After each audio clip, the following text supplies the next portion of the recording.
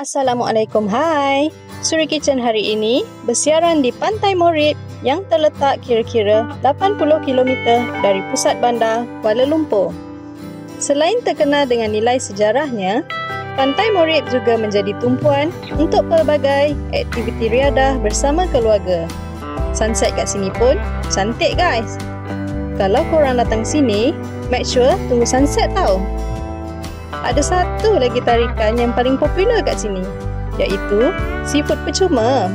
Ya, percuma je. Cuma kena carilah. Aktiviti ni seronok dilakukan bersama keluarga. Ada banyak hasil laut kat sini. Contohnya, kerang, ketam bunga, belangkas dan pepahat. Jadi hari ini, Suri Kitchen nak tunjukkan kat korang cara dapatkan pepahat secara percuma. Percuma? Tak percaya? Tengok video ni sampai habis, okey?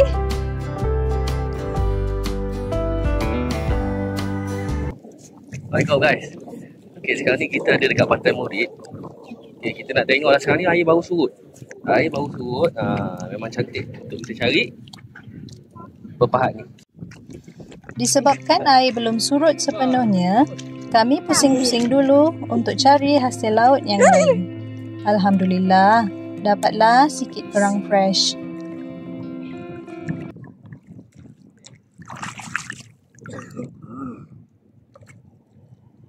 Kita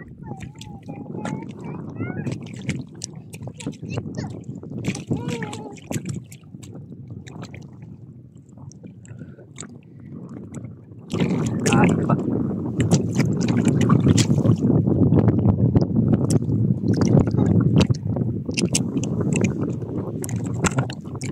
Tips eh, kerang Kita kena cari lepas Betul-betul air surut tu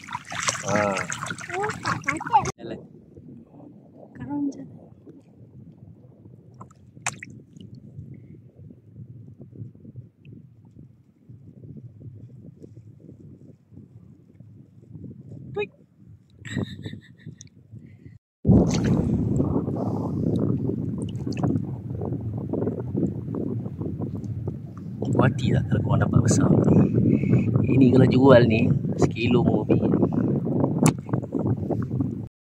cakap Satu lagi tips uh, orang tua dulu-dulu cakap nak cari kerang cari uh, masa bulan penuh.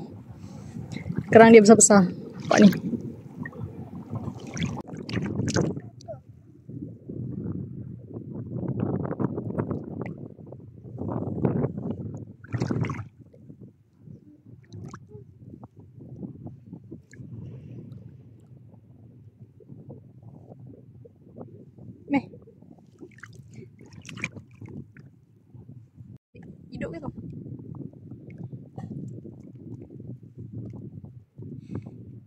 Dua Dia Ha? tengah, dia tengah mengawan Oh lah. Kacau dia. Ha Eh, ambil. Yang tu besar bawah tu.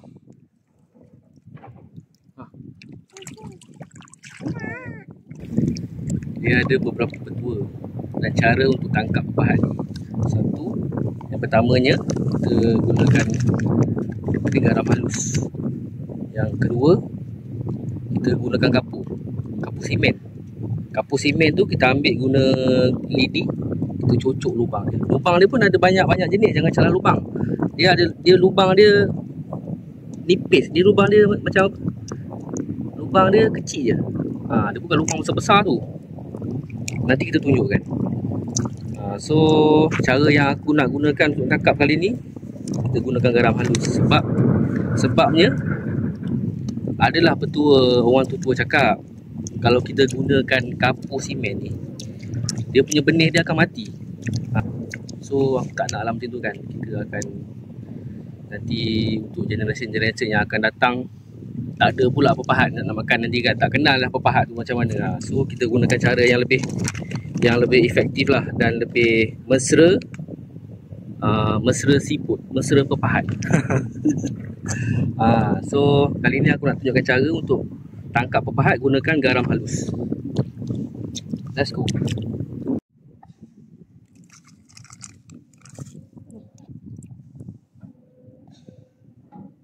Dia belum keluar lagi. Ha, tu. Itu lah. Baju kuah. Alah, Kak baru dia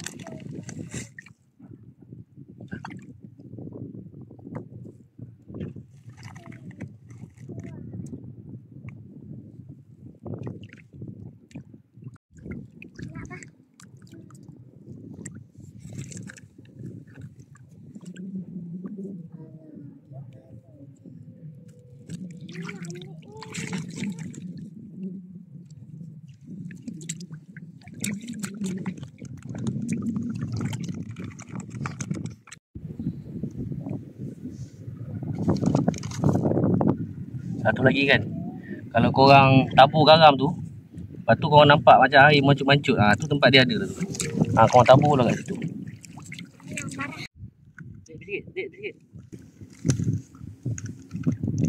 Ha, gemui Ha Ha Dek. Tu dek, tu. Dia lari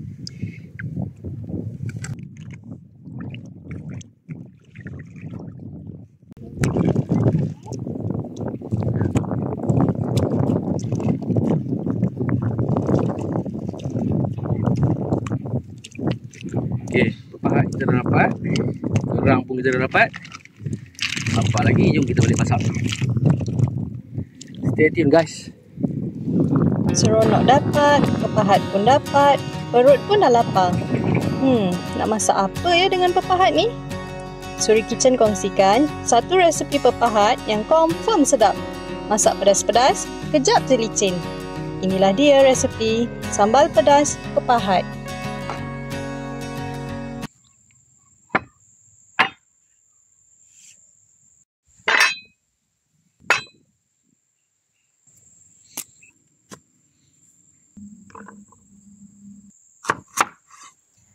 Dalam video ni, Suri Kitchen gunakan 4 ulas bawang merah dan 3 ulas bawang putih sebagai bahan tumisan.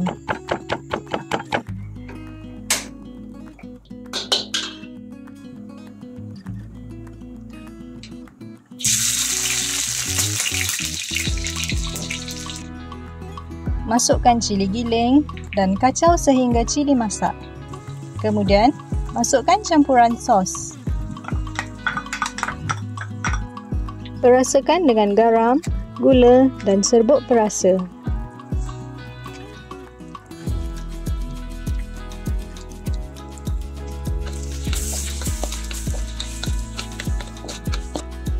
Masukkan petai dan sedikit pes asam jawa.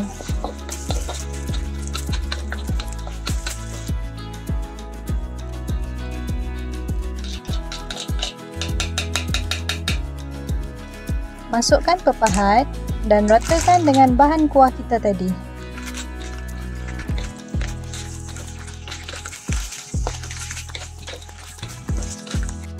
Masukkan daun limau. Kalau nampak kering, tambah sikit air.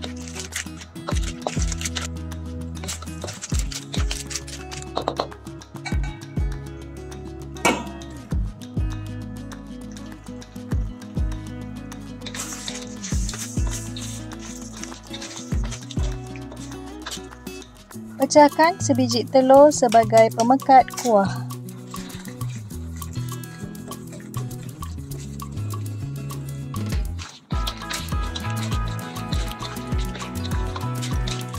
Alhamdulillah, dah siap pun resepi sambal pedas pepahat.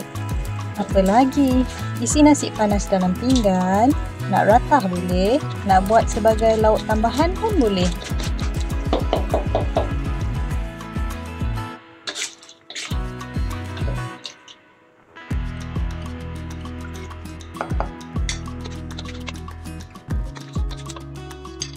Kerang yang sebiji tu, korang jangan pelik tau. Tadi masa asing-asingkan pepahat tu, kami tak perasan pula dia ada sebiji kat situ. Hmm, video pun dah record. Kami pun biarkan je lah dia masak sekali kat situ. Pada yang belum pernah makan, rasa isi pepahat ni dia kenyal-kenyal. Dan orang kata rasa macam mentarang. Hmm, Suri Kitchen pun tak pasti. Sebab Suri Kitchen tak pernah makan mentarang. Tapi pepahat ni sedap. Selamat mencuba.